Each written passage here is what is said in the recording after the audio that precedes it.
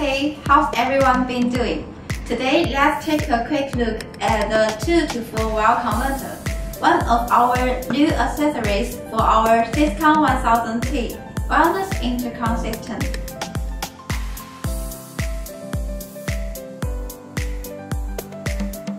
From the name, we can easily tell it's a 2 to 4 wire converter, which includes two sets of 2 wire and 4 wire interfaces. As indicated on the device, these two are for 2-wire systems, while the other two are for 4-wire systems.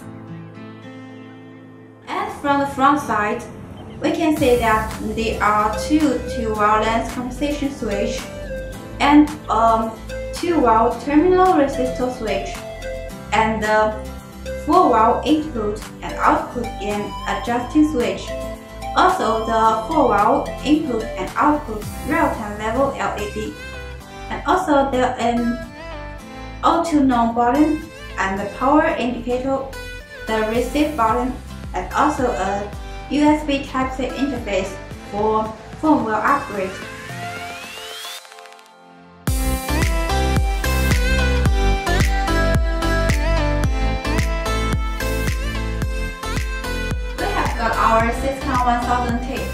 Wireless intercom system and the ClearCom 702 well systems here.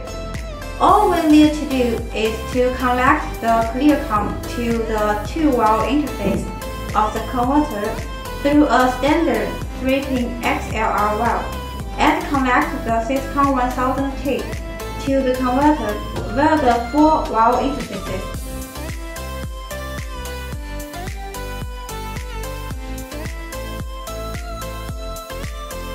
Now let's talk about a few important notes of using the converter.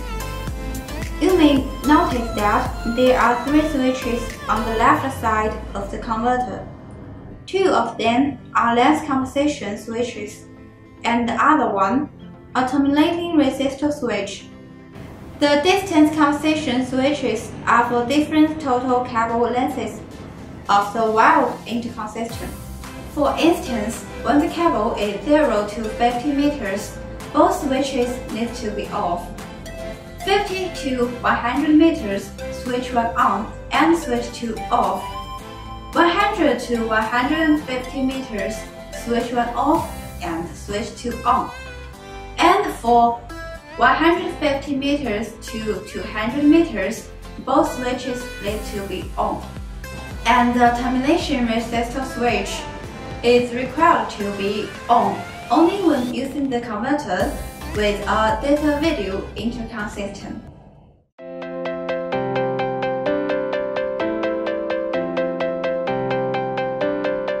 The DSP technology is introduced to this converter via the auto null button. Single clicking on this button is all we need to do to remove the echo automatically when the number of the backpack and the cable length changes. The blue-green light of the auto null button indicates no processing action was taken. The green light indicates the echo processing was successful, while the red light means the echo processing was failed. Check out the settings of the lens compensation and the terminating resistor if the echo processing failed.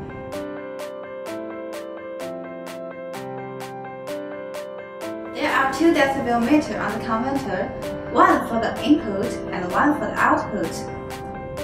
When I talk with the microphone of our Syscom 1000T, we can all see the decibel meters response correspondingly.